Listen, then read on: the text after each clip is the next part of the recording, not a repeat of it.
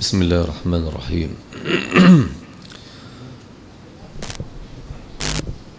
الحمد لله والصلاة والسلام على رسول الله وعلى آله وأصحابه وأحبابه ومن اتبع هداه. ثم أما بعد.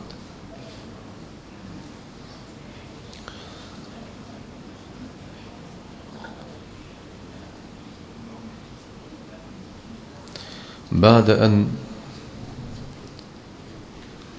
حدث موسى الفرعون بمقصوده ورسالته وأمره أن يفك بني إسرائيل من الأسر والعذاب الأليم.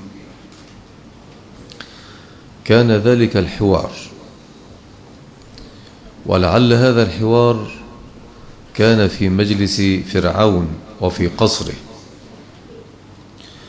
وهناك أخبار ذكرها المفسرون في كيفية دخول موسى وهارون قصر الفرعون. وإن كنا لا نطمئن إلى أي من هذه الأخبار لكن مما لا شك أن دخول موسى وهارون إلى الفرعون في قصره كان يحتاج إلى توفيق ومعونة من الله. إذ إن الدخول على أهل الدنيا لا سيما ممن يوصفون بالجور والظلم ليس بالأمر الهين ليس بالأمر الهين. فإنهم يجعلون على أبوابهم الحجاب والحراس ويمنعون الناس من أن يدخلوا إليهم أو أن يقفوا بين أيديهم. ولهذا ذكر أهل العلم أن موسى وهارون مكث نحو من سنتين حتى تمكن من الخلوص إلى فرعون والتحدث إليه. قيل بأن موسى ضرب باب قصر فرعون بعصاه ضربا عنيفا. فقال فرعون من هذا المجنون الذي يضرب باب قصري؟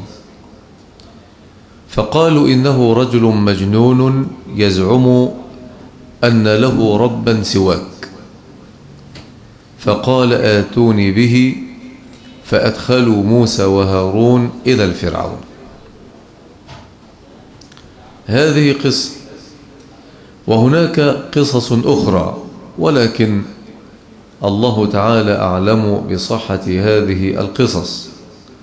دخل موسى إلى الفرعون وأمره وأبلغه بدعوة الله عز وجل ومن جملة ما أمره أمره أن يفك بني إسرائيل من ذلك العذاب الأليم الشديد. ثم كان هذا الحوار الذي بدأه فرعون. قال ربنا سبحانه قال فمن ربكما يا موسى؟ قال ربنا الذي أعطى كل شيء خلقه ثم هدى. قال فما بال القرون الأولى؟ قال علمها عند ربي في كتاب لا يضل ربي ولا ينسى. الذي جعل لكم الأرض مهدا وسلك لكم فيها سبلا وأنزل وأنزل من السماء ماء فأخرجنا به فأخرجنا به أزواجا من نبات شتى. كلوا وارعوا أنعامكم إن في ذلك لآيات لأولي النهى. منها خلقناكم وفيها نعيدكم ومنها نخرجكم. ومنها نخرجكم تارة أخرى. قال الفرعون لموسى فمن ربكما يا موسى؟ لم يقل فمن ربنا؟ ولكن قال فمن ربكما؟ لأنه يجحد الرب هو كافر بالرب. فهو يقول أنا الرب. أنا ربكم الأعلى. لأن كل سيد هو رب لعبده ولكن هو رب هؤلاء السادة فهو الرب الأعلى. وليس هناك إله غيره ما علمت لكم من إله غيري. فيأتي له موسى فيخبره. أن له ربا سواه فيقول فمن ربكما؟ ثم قال يا موسى. لم يقل يا موسى ويا هارون ولكن قال فمن ربكما؟ الاثنين موسى وهارون. ثم قال فمن ربكما؟ يا موسى. لماذا؟ لأن الخطاب متوجه إلى موسى. يبقى من الذي يتكلم مع إن هارون أفصح لسانا. لكن من الذي يتكلم؟ موسى. ولذلك الخطاب لمين؟ لموسى. الخطاب لموسى. فقرد عليه موسى فقال ربنا الذي أعطى كل شيء خلقه ثم هدى. هذان دليلان على الربوبية. دليل الخلق ودليل الهداية. سبحان الله. دليل الخلق ودليل الهداية. دليلان كونيان عقليان يدلان على أن لهذا الكون ربا قادرا. ليس هناك من إلهين. إذ لو كان في الكون إلهان لتنازعا واختلف. وهذا شأن الشركاء. الشركاء مهما طالت شراكتهم لابد أن يتنازعان أن يختلفان. سبحان الله الزوجان شريكان في الأسرة يختلفان. والتاجران شريكان في التجارة يختلفان. والصديقان شريكان في الصداقة يختلفان. أيكون لهذا الكون أيكون لهذا الكون إلهان يختلفان؟ لو كان فيهما آلهة. آلهة إيه؟ إلا الله لفسدتها إله يقول أنا أطلع الشمس النهاردة الإله التاني لا. دول كفرة ما نطلعش الشمس دول لغاية لما يموتوا من البرد. إله يقول طب نخلي الجنين ده ذكر؟ لا خلي أنثى. واحد طب خلي أنثى لا نخلي ذكر. طب نوسع على فلان ونخلي تجارته واسعة. لا نضيق عليه ونفقره. طب نخلي واحد عمره طويل لا نقصر عمره. طب وبعدين؟ ده إحنا عاوزين بقى إله ثالث يفصل بينهم بقى. مش كده؟ لكن الكون له إله واحد. فلما سأل موسى لما سأل موسى فرعون يعني فرعون اللي سأل بيقول له فمن ربكما يا موسى؟ أتى الجواب يحمل دليلين يدلان على ربوبية الخالق. دليل الخلق ودليل الهداية. قال ربنا الذي أعطى كل شيء خلقه. يبقى دليل إيه؟ الخلق. وكل أبلغ صيغ العموم. ثم قال شيء بصيغة التنكير للدلالة على الشمول. إذا كل شيء في هذا الكون خلقه الله. ولما خلقه الله الذي أعطاه هذا الخلق هو الله. يبقى ما فيش حد خلق نفسه ولا في حاجة خلقت حاجة. وإنما الذي خلق الخلق بالصورة الموجودة هو من؟ هو الله. هو الله. يبقى الذي خلق الخلائق هو الله الذي أعطى كل شيء خلقه أعطى. إذن الخلق ده هبة من الله رزق من الله. وبالتالي لو إن المرأة أتت ببنات أو بصبيان المسألة ديت لأحد ولا للرب الأحد؟ لابد أن تميز لابد أن تعرف أن الخلق كله إنما هو بأمر الله.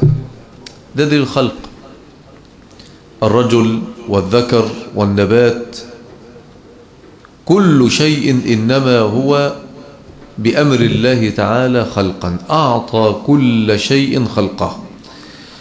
ثم هذا الخلق هو الخلق الموجود فشكل الإنسان هو شكله. وشكل الحيوان هو شكله. كل شكل إنما أمر الله تعالى به. أمر الله تعالى به.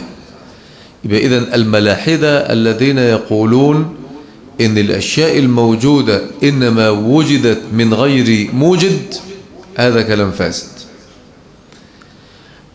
الماديون الذين يقولون بأن الأشياء تولدت من بعضها من غير آمر لها هذا كلام فاسد.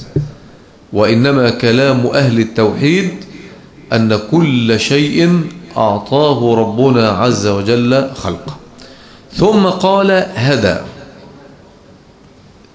ثم هدى أي بعد أن أعطى ربنا عز وجل كل شيء الخلق والصورة التي هو عليها هداه لما ينفعه.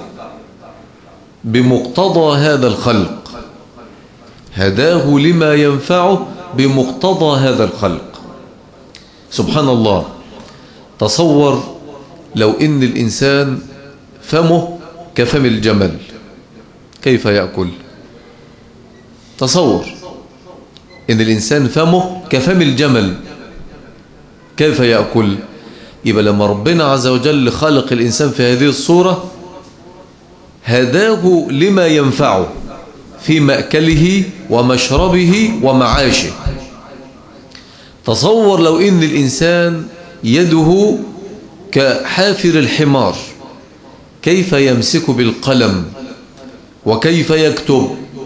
وكيف يقبض بالأشياء؟ وكيف يتمكن من الأشياء؟ سبحان الله. تصور لو أن الإنسان أنفه كأنف الجمل كيف يسجد على الأرض. سبحان الله أعطى كل شيء خلقه ثم هدى. دليل الخلق ودليل الهداية. فمن ذا الذي يهديك إلى مصالحك؟ والهداية مركبة في الإنسان منذ الصغر. الجنين لما ينزل يهديه الله عز وجل أن يلتقم صدر أمه. أليس كذلك؟ من الذي أعلمه أن طعامه في ذلك اللبن في صدر الأم؟ مين اللي علمه ومين اللي قال له ومين اللي أرشده. أليست هذه هداية؟ سبحان الله. أليست هذه هداية؟ جزء من الهداية الرحمة. انت لما تنظر إلى الحيوانات المفترسة كيف تمسك بأولادها وتجري بهم؟ تجد مثلا أنثى الأسد. عندما تمسك بأشبالها وتجري بهم تقبض عليهم قبضا شديدا ومع ذلك لا تجرحهم. من الذي هداها أن تمسك أولادها بطريقة معينة بشكل معين بصورة معينة؟ من الذي هداها لذلك؟ لوحدها كده؟ ولا ربنا سبحانه وتعالى؟ سبحان الله من الذي يهدي الطفل الصغير عندما يكبر شيئا؟ أن يميز بين الأشياء. من الذي هداه لذلك؟ إنما هو الله. إنما هو الله. لما تتأمل دليل الهداية في الكون لا يمكن أن تنتهي إلا إلى معنى واحد هو أن تجل الله الكريم. تجله تعظمه توقره تخضع له قلبك يتعلق به. إذا عندنا دليلان. لابد أن نتأملهما بدقة. دليل ماذا؟ الخلق. إن كل خلق له صورة تناسبه. الرجل له صورة معينة والمرأة لها صورة معينة الرجل تركيب معين والست لها تركيب معين. تصور بقى لو إن الرجل والمرأة الاثنين نفس التركيب. سبحان الله ما ينفعوش. الكون ده يفسد. الكون ده يفسد مباشرة. كل شيء في هذا الكون ربنا خلقه على صورة أرادها وأمر بها لمنفعة الإنسان وعمارة الأكوان. ثم بعد ذلك هداه الله تعالى في هذه الحياة لمصالحه ومنافعه. ده كله بأمر من يا إخواني؟ بأمر ربنا. يبقى إذن تكلم موسى إن, إن هذا الكون له رب وأقام الحجة على ربوبية الرب بدليلين. والدليلين دول كلاهما دليلان عقليان. لا يمكن للفرعون أن يخرج منهما. دليل الخلق ودليل ماذا؟ الهداية. طب فرعون يعمل إيه بقى؟ فرعون يعمل إيه؟ قال له شغب بقى فرعون ما دي المشكلة. إن أهل الباطل لا يعترفون بباطلهم يريدون التشغيب على الحق. خايفين إن الناس يقبلوا الحق فيشغبوا على الحق بكلام عجيب. طب إذا كان الدليلان فرعون بقى بيقول لموسى إذا كان الدليلان دول موجودان في الكون منذ الأزمان البعيدة هناك قوم لم يؤمنوا بربك. هناك ناس كتير جدا لم يؤمنوا بربك. يعني كل القرون السحيقة دي كلها التي لم تؤمن بربك كلها غلط. وانت يا موسى اللي صح. شوف الدليل بتاع فرعون. شوف سيدنا موسى بيقول له إيه؟ وفرعون يقول له فما بال القرون الأولى.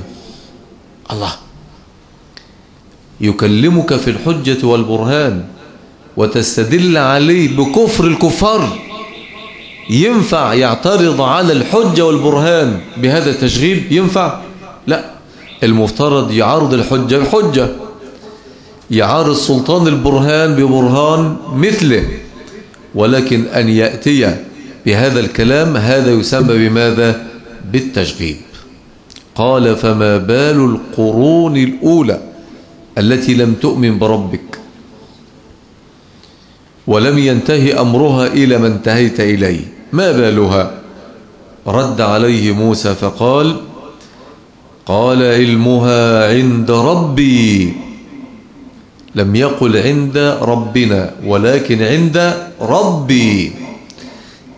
نفسي يا إخواني كلمة ربي دي في القرآن لما تقراها قف عندها كثيرا ربي عندما تقرأها في القرآن لابد أن تقف عندها. تشعر بأن القلب يخضع عند هذه الكلمة. يخضع القلب عند هذه الكلمة. جرب ذلك وتأمل ذلك ستنتهي إلى هذا. قال علمها أي علم هذه القرون وما كانت عليه من المخالفات والشرك عند ربي في كتاب. وهذا الكتاب هو اللوح المحفوظ أو هو الكتاب الذي تكتب فيه المقادير اليومية أو السنوية الحولية أو غير ذلك. ثم قال لا يضل ربي ولا ينسى. لا يضل لا يخطئ. لا يخطئ. ولا ينسى أي لا يغيب عنه شيء. إذا هنا أيضا إشارة إلى ما قد يصيب الإنسان في علمه أو فعله. الإنسان مهما بلغ لابد في علمه وفعله أن يصاب بهاتين الآفتين الخطأ وماذا؟ والنسيان. أي إنسان يخطأ وينسى حتى ولو كان نبيا. ولذلك أتعجب من أحد المعجبين بأنفسهم عندما يقول أنا لا أنسى. سبحان الله النبي صلى الله عليه وسلم قرأ. فارتجت قراءته أو ارتج في قراءته اللي حصلت لخبط في القراءة. إذن هذا دليل أنه ربما ينسى الإنسان يخطئ. لا بأس. الارتجاج خطأ. طب والنسيان عندما صلى النبي صلى الله عليه وسلم صلاة ربعية صلاها ماذا؟ ركعتين. رجل يسمى بذي اليدين الناس كلهم مشوا من ورا النبي صلى الله عليه وسلم النبي صلى الله عليه وسلم صلى ركعتين وسلم والناس كلها سلمت مع النبي صلى الله عليه وسلم. فقال ذو اليدين يا رسول الله أقصرت الصلاة أم نسيت؟ قال ما قصرت ولا نسيت. يبقى ده كمان إيه؟ تأكيد للنسيان. إذا يمكن الإنسان إن هو ينسى وما يعرفش إن هو إيه؟ إن هو نسى. ولذلك قال صلى الله عليه وسلم رفع عن أمتي الاثنين دول وزود عليهم حاجات تانية. أول اثنين الخطأ والنسيان. ثم قال وما استكره عليه. لكن معظم أفعال العباد ممكن يقع فيها الخطأ والنسيان. الخطأ عدم تعمد الشيء. عدم تعمده. اسمه خطأ. افترضنا واحد قام من النوم وقافل الشيش ودايما هو بيقوم قبل الفجر بربع ساعة. فتح التلاجة اللي في الأوضة مثلا أو جنبه إزازة مية والأكل والشرب. بسم الله ما شاء الله. ربنا وفقه أكل وشرب وحله وحمد ربنا على هذه النعم. طلع من الأوضة في الصالة اتلقى الساعة ستة ونص. يبقى الراجل ده إيه اللي حصل له؟ نسى ولا أخطأ؟ أخطأ. ربنا عز وجل يسامحه ويعفو عنه. واحد في نهار رمضان نام وصحى بعد الظهر بساعتين. من عادته ان هو هذا الوقت وقت الغداء راح جاب الحلة وسخنها وأكل رز وطبيخ ولحمة وبعد كده حلة بالبطيخ وعمل كوباية شاي. يا رب لك الحمد. آه! ده النهاردة رمضان. إيه اللي حصل؟ ولهذا قال الله ربنا لا تؤاخذنا إن بردك. نسينا أو أخطأنا. يبقى معظم أفعال الإنسان وأقواله تدور بين ماذا؟ تدور إن كثير من الأحيان قد يقع في النسيان أو الخطأ. ليس عيبا أن تخطئ. ليس عيبا أن تنسى. ولكن العيب أن تكابر. تقول لا ما بغلطش. ما غلطش. ما حصلش. تعال. واجهني وريني اعملني. أنا ما بنساش. أنا مصحصح أنا منتبه. لا لا. هذا كلام لا يقوله إلا من التفت إلى نفسه. كل ما الإنسان كان خاضع لربنا كل ما كان منكسر. كل ما كان منكسر. فقال موسى لا يضل ربي ولا ينسى. لا يخطئ ولا ينسى. وهذا دليل على شمول علم ربنا عز وجل وإحاطة علمه بالكائنات. طيب. ثم قال في تمام الكلام كلاما عن ربه سبحانه في حضرة الفرعون انظروا كيف يتكلم عن الله. يا أخوانا القرآن ده جميل جدا. كيف يتكلم موسى عن ربه؟ انت لو قلت لواحد كده كلمني عن ربك أي واحد قول له من تعبد يقول لك أنا بعبد ربنا بارك الله فيك. طيب يلا. حدثني شيئا عن ربك. هتقول إيه عن الله؟ تصور أنا رجل مش مسلم أنا لست بمسلم.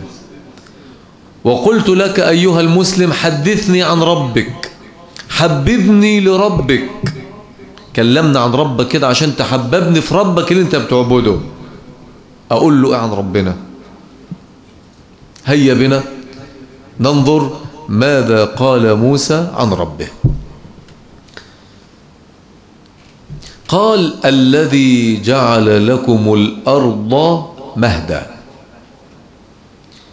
المهد اللي هي السهلة المجهزة. ومنه سمي المهاد مهادا وسمي المهد مهدا. المهد اللي هو الايه؟ فرش الصب الصغير. طب انت يا كبير بتسمي الفرشة بتاعتك مهد؟ لا. ليه؟ لأنك تنام في أي وضع. لو ما تلقيتش مخدة تحط الجزمة تحت دماغه وبتنام. وتمشي الحال. تنام على حصيرة تنام على بلاط أي حاجة تمشي أمورك. لكن الطفل يحتاج إلى عناية. أليس كذلك؟ لابد يكون تحته المكان مستوي. ونحط نخلي راسه أعلى حتة صغيرة. ويكون تحت راسه حاجة ناعمة. وكل ما كان الطفل أصغر كل ما كان المهاد بتاعه إيه؟ أرق وأنعم وأيسر. الله. أيضا الأرض جعلها ربنا عز وجل مهادا للمخلوقات. يا سلام. يبقى كأن إحنا على الأرض دي كالأطفال الذين يتقلبون في فرشهم كأن الأرض ديت سهلة مبسوطة مجهزة معدة لك أيها الإنسان. نعم. يا ترى من الذي مهدها لك؟ من الذي جهزها لك؟ هكذا ولا هناك رب مهدها وجهزها.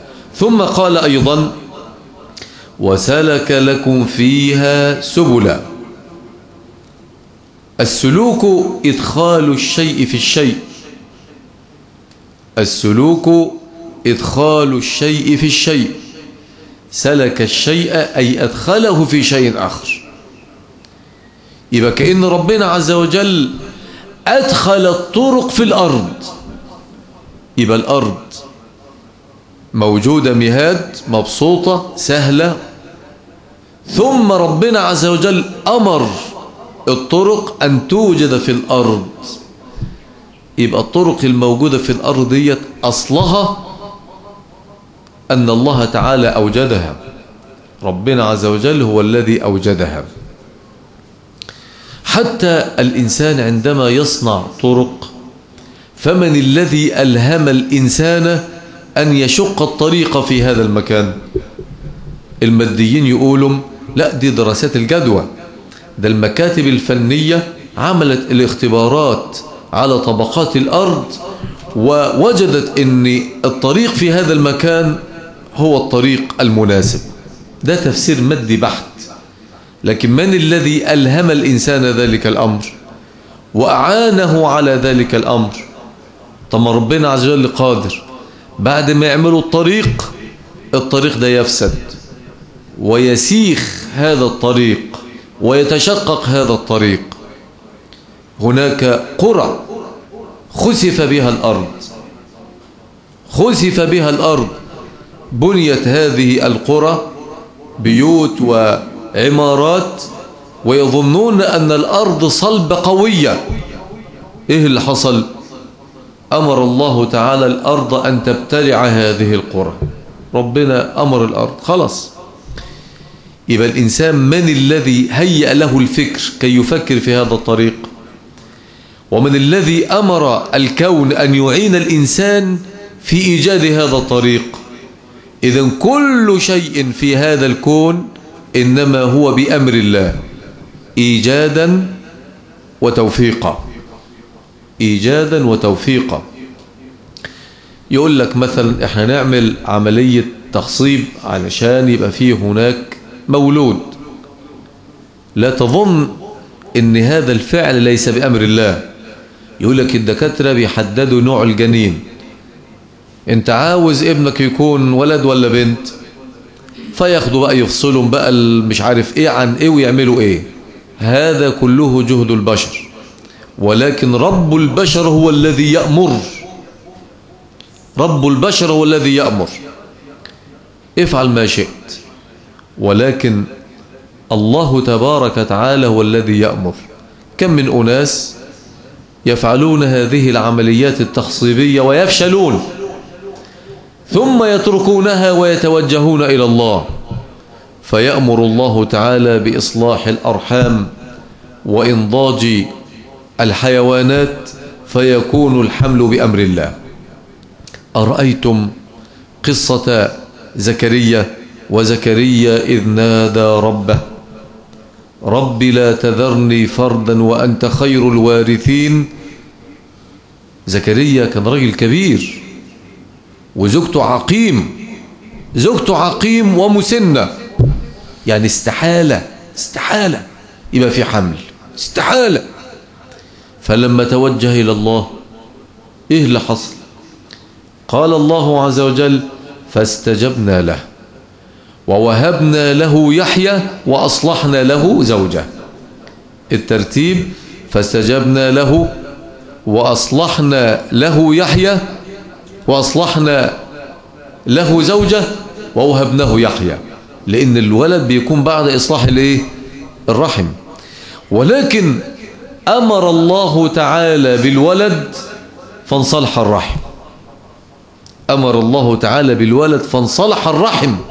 تأمل آيات القرآن حتى تتعلم منها الإيمان.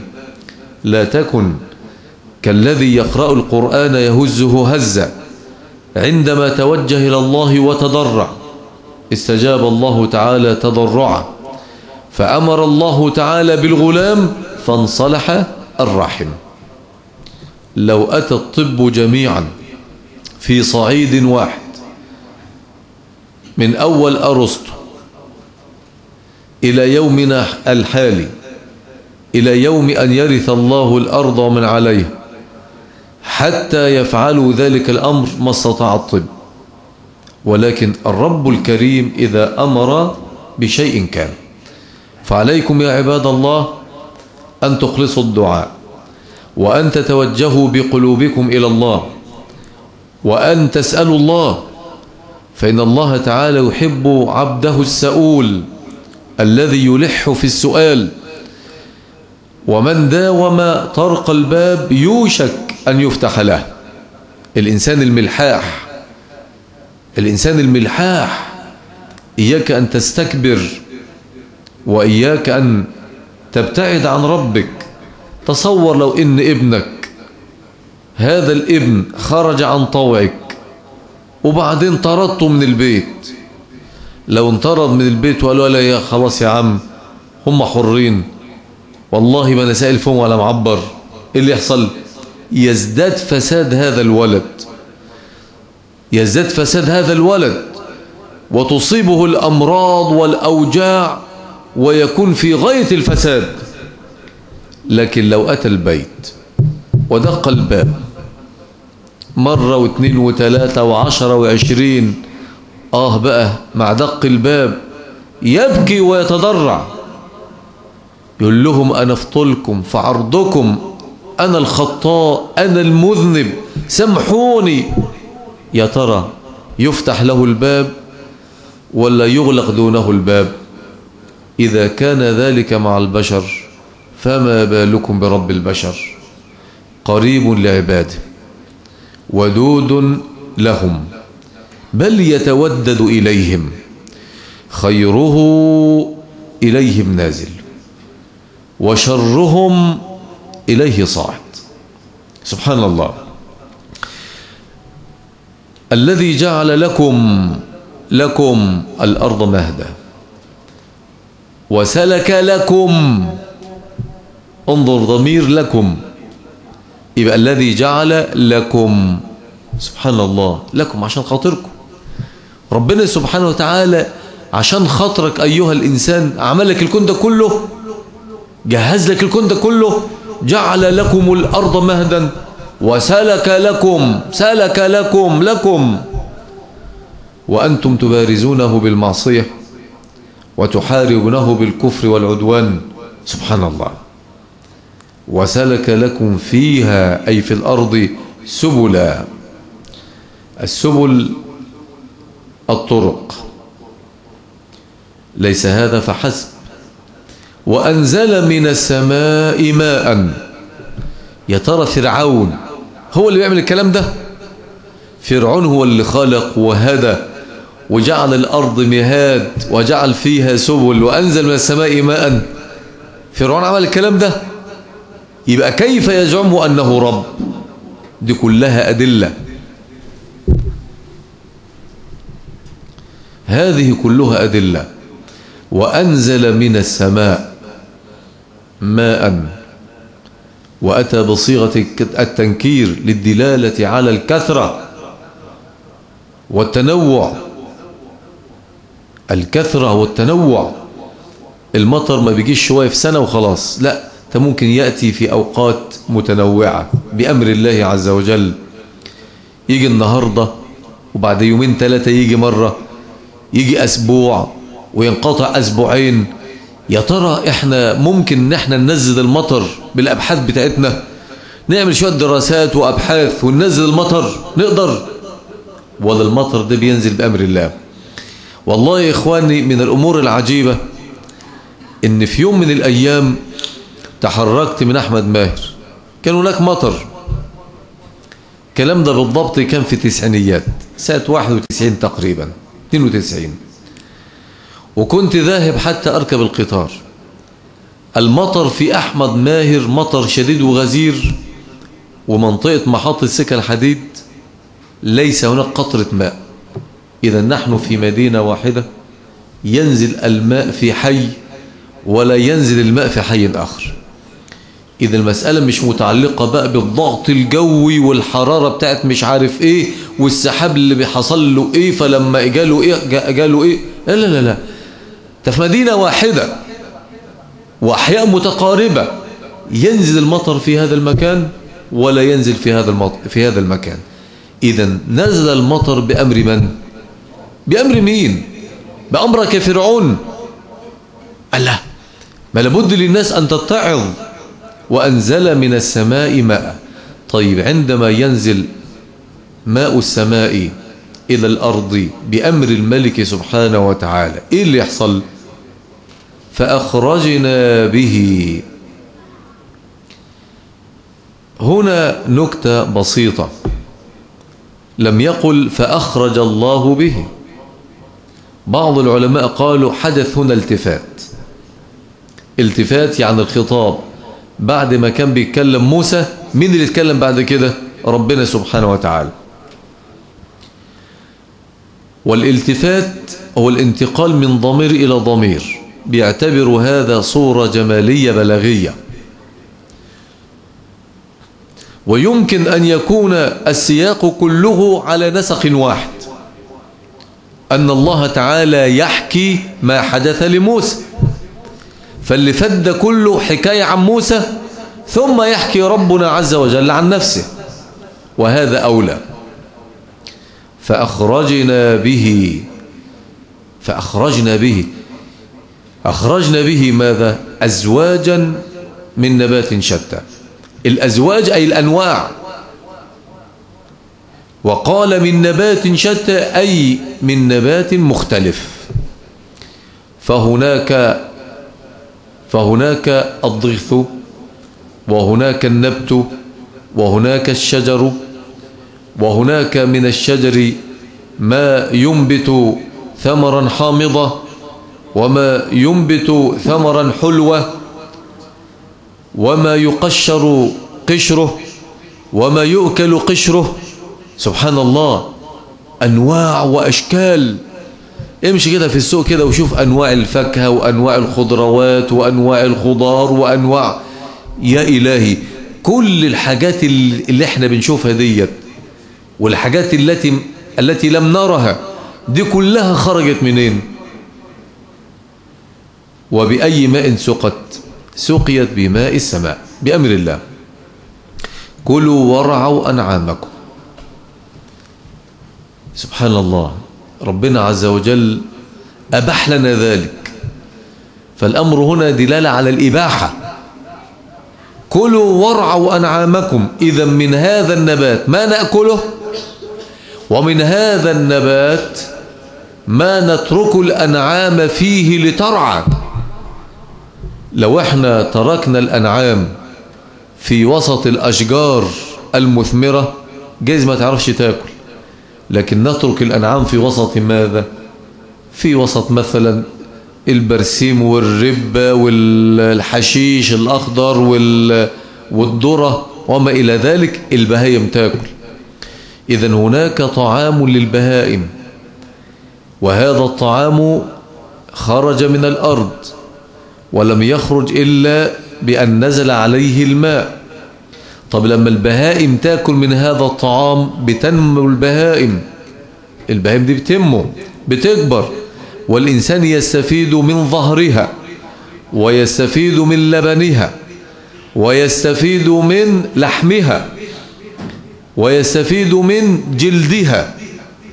الله إذا صناعات وفوائد عظيمة للإنسان بتيجي من وراء مين؟ الأنعام. والأنعام ده جنس. يطلق على جنس الإبل والبقر والغنم. الإبل والبقر والغنم. وعندنا سورة في القرآن اسمها سورة الأنعام بينت هذه الأصناف.